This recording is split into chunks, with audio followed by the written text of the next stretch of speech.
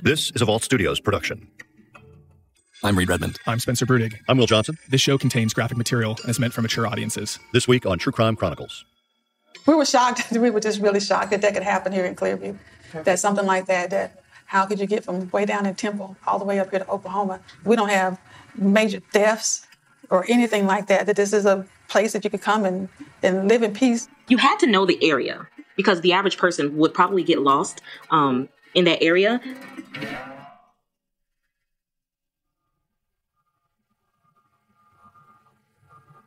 In 2009, 30 year old April Pease moved from Washington State to Minnesota, bringing her four year old son with her. She had a child, um, and she she was trying to seek custody of her son. Jasmine Caldwell is a reporter with KCEN TV in Central Texas. She learned about this case up in Minnesota after she started reporting on a separate case in Texas, which we'll get to shortly. She and her son went to live in a women's shelter in Bloomington, Minnesota, and this was after um, she reported several domestic assaults. According to police in Bloomington, Minnesota, that was why Pease had moved there, to get away from the father of her child. Court documents filed back in Washington depict a bitter custody battle, describing Pease as a woman struggling with drug addiction that affected her parenting, and describing the father as someone with aggressive behavior, someone who is in, quote, complete denial that he has issues around domestic violence, end quote. Pease had been granted temporary custody, and the two parents had another hearing scheduled for March 20th, 2009. Three days before that hearing, April Pease disappeared. She went missing. Pease was last seen on March 17th, 2009, in Minnesota. When April's mother, Dottie Pease, first heard her daughter was missing, as she would tell KCEN, she feared April may have relapsed, that her struggles with addiction may have been somehow involved in the disappearance. She said when April first went missing, Dottie believed her daughter had a drug re- relapse. She waited a few months to report anything until she found out no one had heard from April. But April Pease never turned back up. And no one has found her body or know her whereabouts since. In 2019, a decade after April Pease went missing in Minnesota, and about a thousand miles away, another young woman disappears from the central Texas city of Temple. 28 year old Jenna Scott. Jenna Scott was just a girl from Temple. Um, she had one child, um, very close to her family. From what her family s- told us, Jenna Scott um, was a drug user, but she had turned her life around. Um, she was going to school to be a nurse. Um, and she was just like a really family oriented, nice person, even though she had a past, but she was trying to straighten up her life.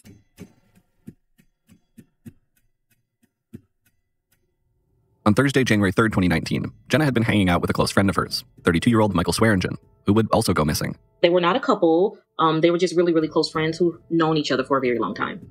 The two friends were over at Swearingen's house in Killeen, Texas that night. According to Temple Police, they were last heard from at about 3 a.m. the next morning, January 4th. Jenna's family would first hear the two were missing the following afternoon. Friday afternoon, when um, one of Michael's friends came over and asked us if we'd seen them. Uh, we filed uh, missing persons reports um, that evening. Uh, we, my wife and I, Karen, filed a missing report for Jenna, and Michael's mom, Deborah, uh, filed a missing report for him on Friday evening. Jenna and Michael hadn't given any indication to friends or family that they might be leaving town or out of contact for an extended period of time. We just really don't know. Um, we just know that they're missing. You know, maybe we can hope for the best and that you know they did something spontaneous and and just took off, which you know we might not like that. might be a little angry about it, but that's our best hope. And of course, the worst outcome is what you know. It's- it's, You know, they aren't with us anymore. We don't know, or they could have been kidnapped. I mean, at this point, anything that we would think would be speculation. We just know they're missing. It's not hard to imagine a couple friends skipping town and getting away for a few days without telling anyone. But there were some clear signs that this wasn't that. that weekend, Jenna Scott, um, Jenna Scott's daughter was having a birthday party, a big birthday party. Um, but Jenna Scott did not show up. So that was a huge red flag. Why would she throw a birthday party for her child, you know, and, and not show up? So that was a huge red flag for the family. Another red flag the day after the two friends disappeared, the car they'd been driving, Michael Swearingen's gray Hyundai Genesis, turned up in Austin, Texas. which is about about an hour away from the Temple Killeen area. So that was a red flag because there was no there was no talk of Michael and Jenna going to Austin. So it just didn't make sense why the car would be there. But Swearingen's mother, Deborah Harrison, thinks they were never there. I don't I don't think they went to Austin. And I know he did not go to that area of town. And still, there were a few more things that didn't make sense to Michael Swearingen's mother, who quickly said she thought her son and Jenna had been abducted. Deborah believes they were taken exactly a week ago, Thursday night, at Michael's house. She says his dog was in its crate for hours, which she says Michael would never do. And the alarm system had been going off. His security system was on, uh, but there's some footage from the cameras that, that uh, is missing that they're they're trying to get. And while the investigation is still ongoing, Deborah is asking for the community to keep Michael and Jenna in their prayers. He's just got to be found. You have to find him. as both families tried to figure out what could have happened, who might have wanted to harm Jenna or Michael. One person, one man, came to mind. They knew that Jenna Scott had a previous relationship, you know, with this guy, and it was just a volatile relationship. And they knew that if Jenna would have gone missing or if something um, would have happened to her, it may have been him. While reporting on this case, Jasmine Caldwell first heard about this ex-boyfriend from Jenna Scott's brother. So I asked her brother, you know, the name, and he said, you know, it's he, he didn't tell me the name at the time. What he said was he is a, a former MMA fighter who helps women defend themselves. So um, immediately I just start, you know, kind of asking around and going, uh, looking, searching on Google, and you know, I saw I think it was the newspaper did a story about this man who was helping women defend themselves by taking these like MMA fighting type classes. And, you know, I just put two and two together. I asked the brother, I said, Without, if I tell you his name, will you tell me? And I said, is it Cedric Marks? And he said, yes. So that's when Cedric Marks first came on my radar. Cedric Marks was a 44 year old fitness trainer and former professional mixed martial arts fighter who'd had a previous relationship with Jenna Scott. When Marks found out his name was coming up in relation to this missing persons case, he actually contacted KCEN to try to clear his name. Yeah, he sent an email trying to um, say that he was innocent and that Jenna Scott was the one who was violent and that she was crazy and he was trying to escape her and leave the relationship. So through that email, I called him. Basically, what Cedric said is that the first thing he said was he had absolutely nothing to do with the disappearance of Jenna Scott and Michael Swearingen he was in an unknown location. Like he, he told me that he was no longer in Texas, but he wouldn't tell me where he was at. You know, out of fear of, you know, I was the media, him thinking that I would call and tell the police where he was at. So he didn't tell me his location. He just said, I'm no longer in Texas and I had, I had nothing to do with the disappearance of Jenna Scott and Michael Swearingen. Court records show that Cedric Marks and Jenna Scott had a volatile history, marked by 911 calls and allegations of violence. On July 27, 2018, just over five months before she went missing, Jenna Scott had filed a protective order against Marks, in which she described specific incidents of physical abuse and a mounting fear for her and her daughter's safety. In the document, Scott says, quote, I'm terrified of this man. I need to be protected from this man, end quote. A month and a half later, a judge dismissed that protective order for reasons that are not clear. On the phone with Jasmine Caldwell, Marks would point to Jenna's legal troubles in the past and claim that she had been the source of their problems, not him. He was really trying to show me and kind of turn this around and show me that Jenna was the aggressor, not him. He, you know, also said that he didn't know who, you know, would have kidnapped her or taken her, but he kind of thought that maybe she left on her own free will. Almost immediately after this interview, Marks would be arrested in Michigan, where he was living at the time. But the charges weren't directly related to the missing persons case in Texas. A little bit after I spoke to Cedric Marks um, on the phone, he was arrested, um, but he was arrested on burglary of a habitation with an intent to commit other felony charges. And the reason why he was arrested for burglary of a habitation is because Jenna Scott reported that someone broke into her apartment complex in August of 2018. Jenna Scott and Michael Swearingen were last seen in central Texas. Cedric Marks was arrested up in Michigan. And then the following week, a third state comes into the picture when Jasmine Caldwell learns investigators have been searching a property in the town of Clearview, Oklahoma. It's a small town in Oklahoma. And I mean, it's small, so small that pretty much everyone there is related to each other in some way, shape, or fashion.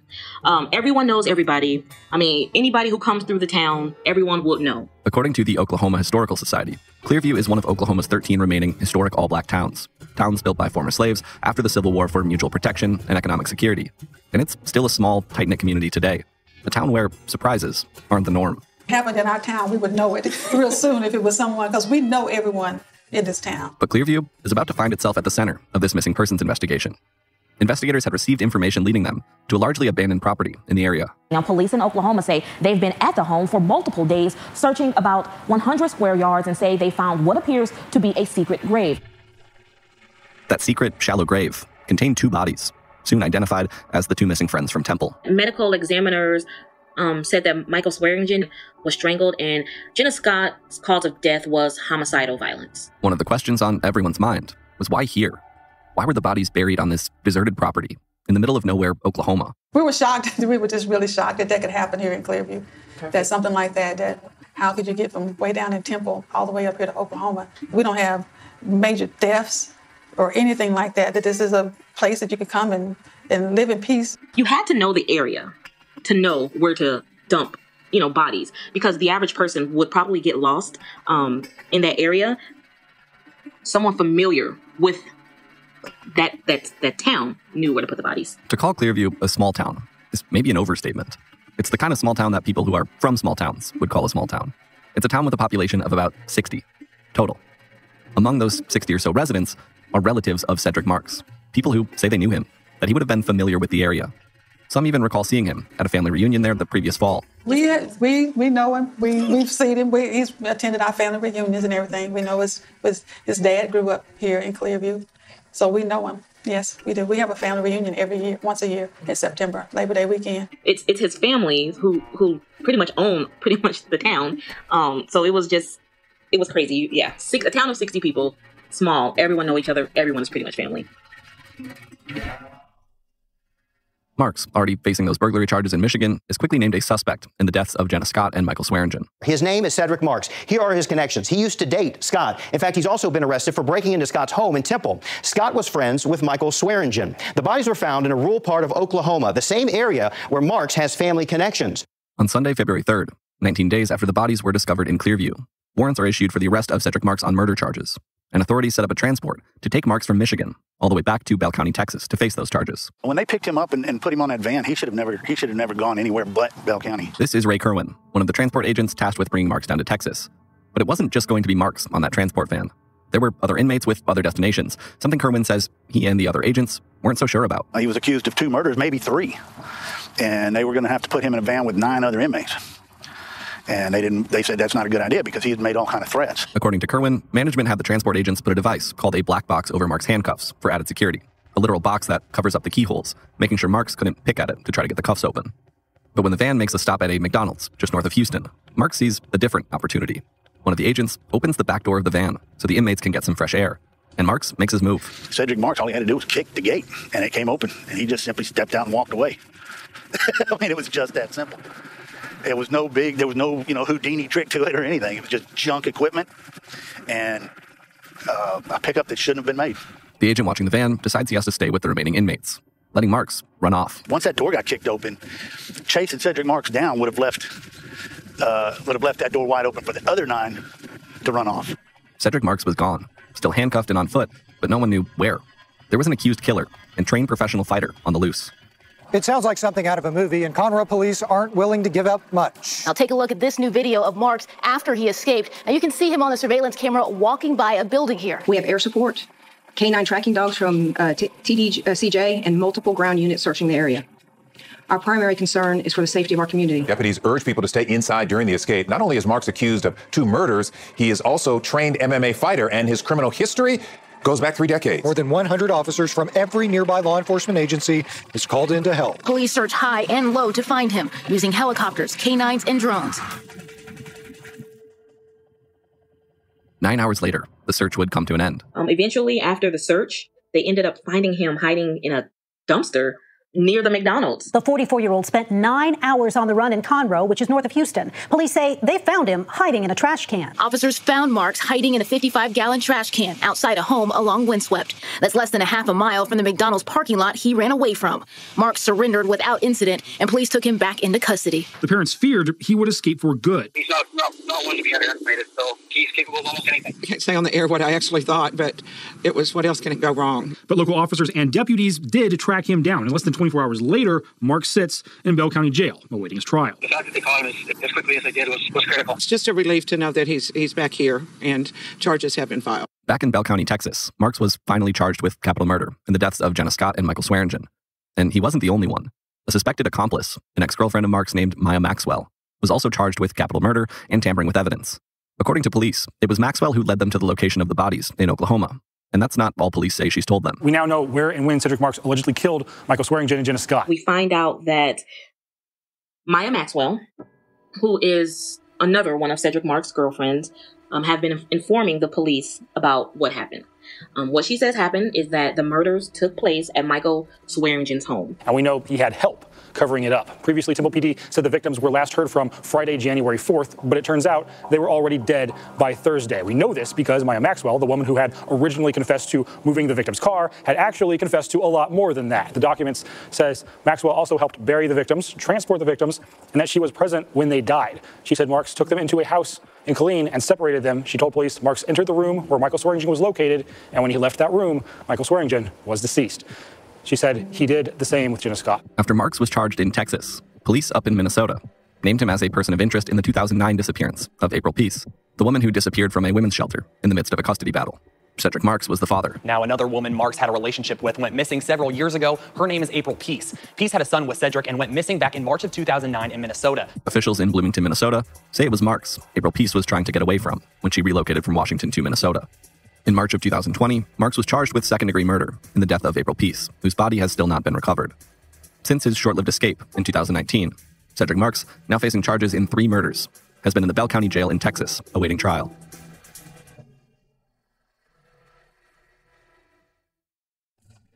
She had a life, and someone took that away. 31 years hunting for her mom's killer. And it's going to end with me getting the person that killed my mom. Une Gray is closer than ever. So these are dangerous people, extremely dangerous people. From the team that brought you Urge to Kill, I'm Ashley Porslin. Are you willing to go to war, so to speak? And this is The Yellow Car. I'm always ready for anything. Subscribe now. For True Crime Chronicles, I'm Will Johnson along with Reed Redman and Spencer Brudig.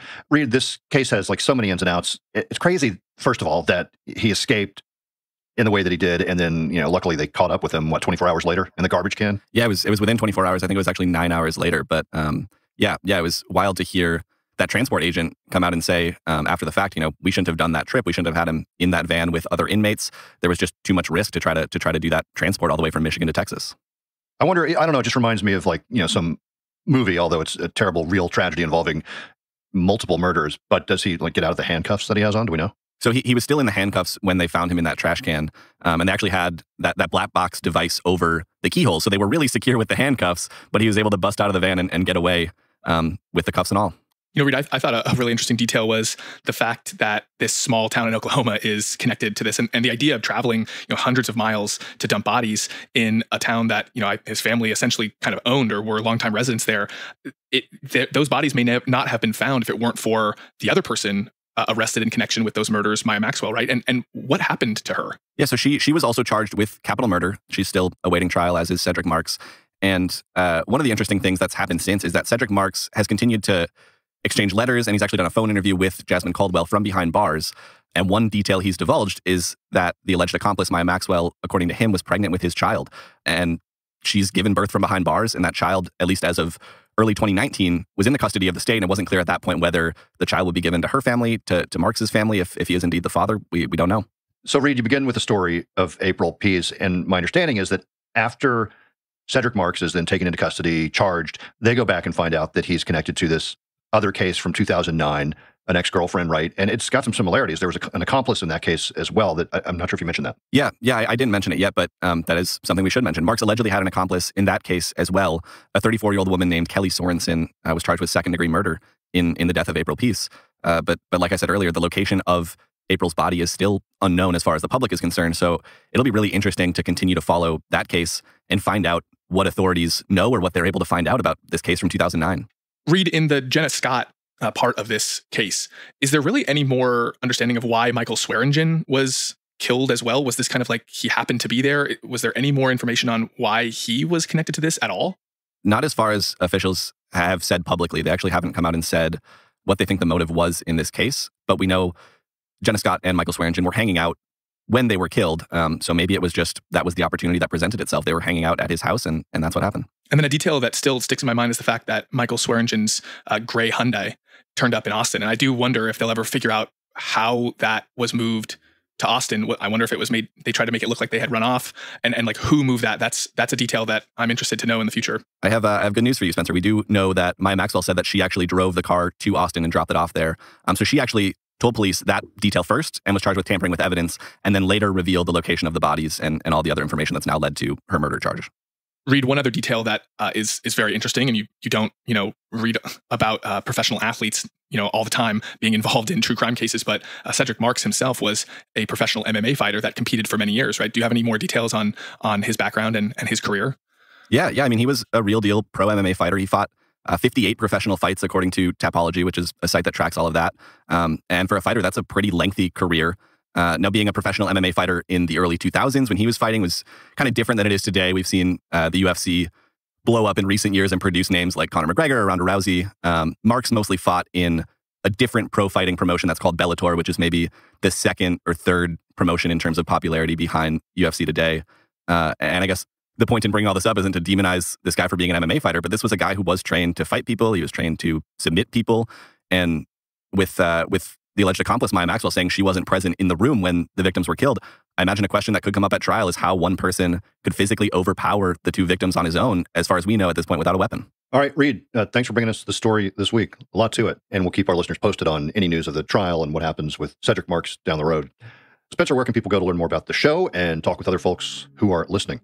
Yeah, we've got a, uh, a Facebook group called Inside the Crime Vault. It's a great place uh, to join us, discuss this case and other cases like it uh, with uh, like minded true crime fans. And if you've been listening for a while, you already know about that, but please join us there and join us here every week. And we'll be back next week with a new case and a new story.